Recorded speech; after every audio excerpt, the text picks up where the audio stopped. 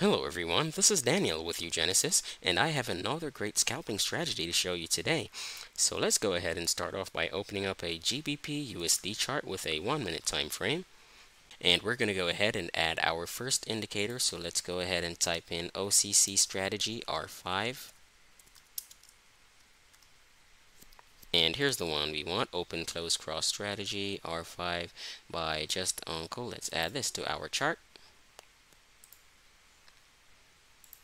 And so with this indicator, we can see we have a green ribbon here and a red ribbon, and we also have short and long signals, all right? So the green ribbon would indicate the uptrend, and the red ribbon indicates the downtrend, all right? Now, our second indicator will be moving average exponential. Let's type in EMA. And we're just going to go to the settings, and we'll just change the color of the EMA to yellow and we'll go to inputs and change the length to 100 and then hit OK. And so whenever the market is above the EMA line, then we know we're in an uptrend.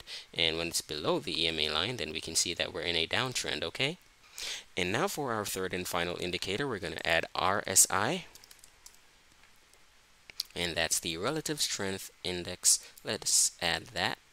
So with this indicator, whenever the purple line is above the yellow line, then we know we're in an uptrend. And whenever the yellow line is above the purple line, then we're in a downtrend, okay? So let's go ahead and take a look at our chart to see some buy and sell entries.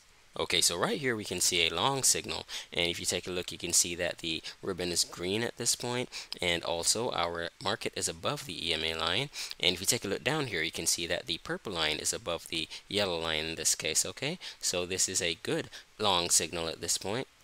And if you take a look closely right here at this short signal, you can see that the ribbon is now red and our market is now going below the EMA line. And down here, you can see that the yellow line is above the purple line in this case, okay? So this is a great short signal right here.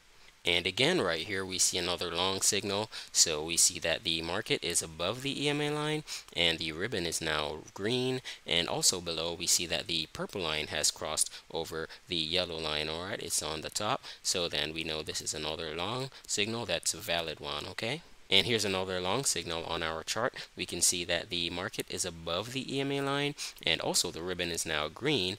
And if you take a look down here, you can see where the purple line has crossed the yellow line. All right, so we know this is another great buy signal, okay? And right here is another section where we see the market is going below the EMA line and the red ribbon is also here indicating the downtrend.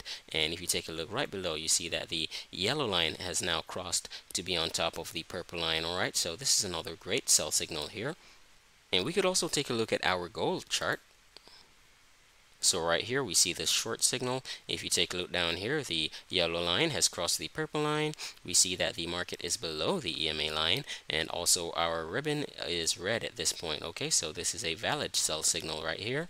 And take a look at this section here. We can see that the purple line is now above the yellow line and our ribbon is green at this point and the market is going above the EMA line. Okay, so here would be another great buy signal. So you can see this is a pretty accurate strategy, okay guys, and hopefully you'll get some profitable trades using this one. So thanks again for watching our video. Please remember to like, subscribe, share with your friends, and comment down below and let us know what you think. And goodbye for now.